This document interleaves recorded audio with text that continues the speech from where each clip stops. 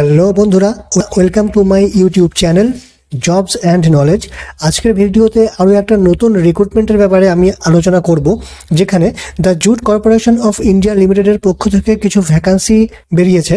এই সকল ভ্যাকান্সিগুলো বেরিয়েছে accountant junior assistant junior inspector প্রভৃতি বিভিন্ন পদে এবং এই সকল পদের জন্য ছেলে মেয়ে উভয়ই কিন্তু আবেদন করতে পারবে এবং পশ্চিমবঙ্গের সমস্ত জেলা থেকে কিন্তু এখানে আবেদন করা যাবে। তো সুতরাং এই নিয়োগের সম্পর্কে বিস্তারিত তথ্য এই ভিডিওতে আমি আলোচনা করব। সুতরাং ভিডিওটা একটুও না কেটে প্রথম থেকে শেষ পর্যন্ত সম্পূর্ণটা দেখতে থাকো।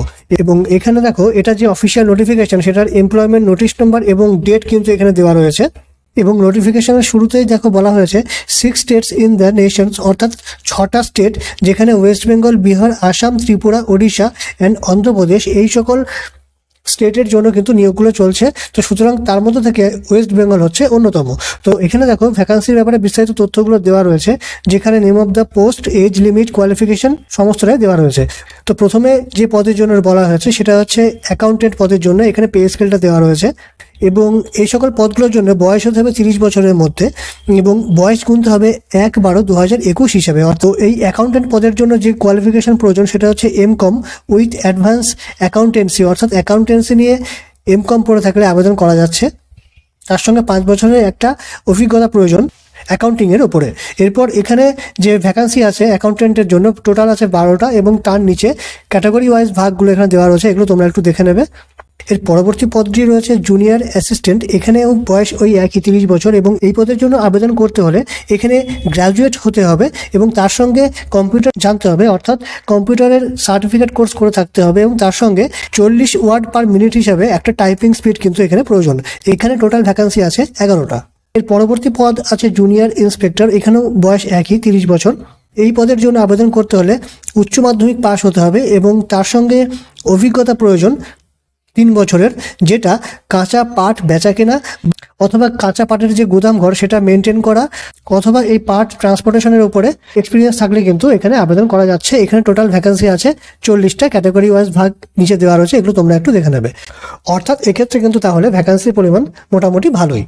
এরপর এখানে দেখো এজ লিমিট এখানে ক্যাটাগরি ওয়াইজ যে ভাগগুলো বা বয়সের যে ছাড়গুলো পাওয়া যায় সেটা এখানে দেওয়া রয়েছে। অর্থাৎ এসসি এসটি ইউআরদের জন্য বয়স কত কি হতে হবে সেটা এখানে ছকের মাধ্যমে দেওয়া রয়েছে, এগুলো তোমরা একটু দেখে নেবে।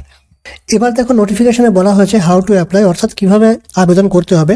তো এখানে এই যে অফিসিয়াল ওয়েবসাইট দেওয়া রয়েছে, এই অফিসিয়াল ওয়েবসাইটে গিয়ে অনলাইনের মাধ্যমে কিন্তু এখানে আবেদনটা করতে হবে, এটা সম্পূর্ণ অনলাইন পদ্ধতি।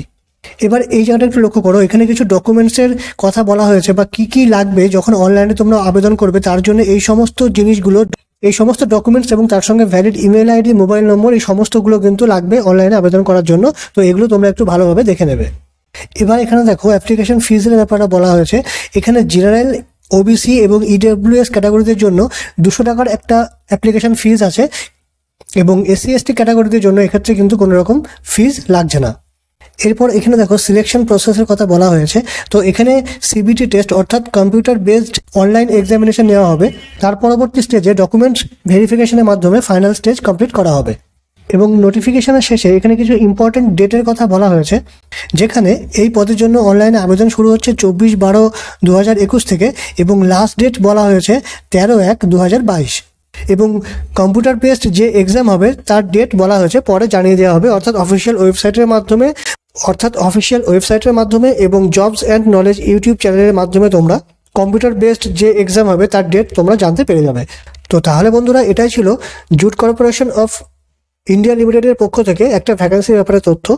তোমাদের আরও কিছু জিজ্ঞাসা থাকলে ভিডিওর নিচে কমেন্ট বক্সে অবশ্যই কমেন্ট করে জানিও এবং ভিডিওটি তোমাদের পক্ষে হেল্পফুল হলে ভিডিওতে একটা লাইক অবশ্যই করে দিও এবং নিজেদের বন্ধুদের সঙ্গে এই রিক্রুটমেন্টের ইনফরমেশনটা শেয়ার করতে ভুলো না। তো তাহলে বন্ধুরা, আজকের ভিডিওতে এইটুকুই। ভিডিওটা প্রথম থেকে শেষ পর্যন্ত সম্পূর্ণ দেখার জন্য অনেক অনেক ধন্যবাদ। ভালো থাকো, সুস্থ থাকো জবস অ্যান্ড নলেজ ইউটিউব চ্যানেলের সঙ্গে থাকো।